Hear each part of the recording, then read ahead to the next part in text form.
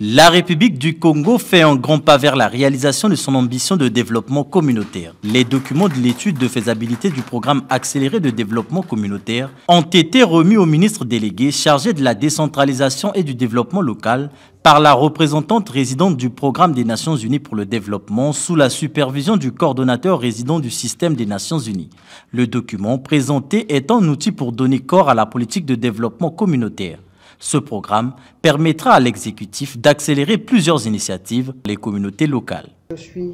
très honorée et très heureuse de voir ce jour arriver, de voir que nous avons pu, sous votre leadership, euh, embarquer l'ensemble des acteurs euh, du gouvernement, des collectivités, des parlementaires et également les populations dans un processus complexe d'identification des besoins euh,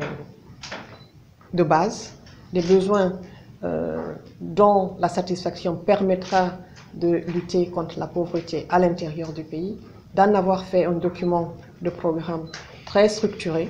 et de pouvoir vous le remettre aujourd'hui afin qu'on envisage sa mise en œuvre. Avec l'appui technique et financier du PNUD, le programme accéléré de développement communautaire est le résultat des besoins prioritaires des populations afin de permettre au gouvernement de résoudre des problématiques soulevées entre 2024 et 2026. La mise en place des infrastructures transversales, la lutte contre la pauvreté et l'employabilité des jeunes sont autant de priorités inscrites dans le PADEC.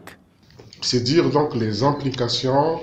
euh, c'est dire donc que ce projet est placé à un très haut niveau de la, de la République. Au cours du tout dernier séminaire gouvernemental, c'est dire que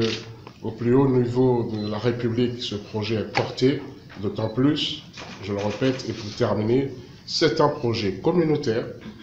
conçu par les populations locales, pour elles,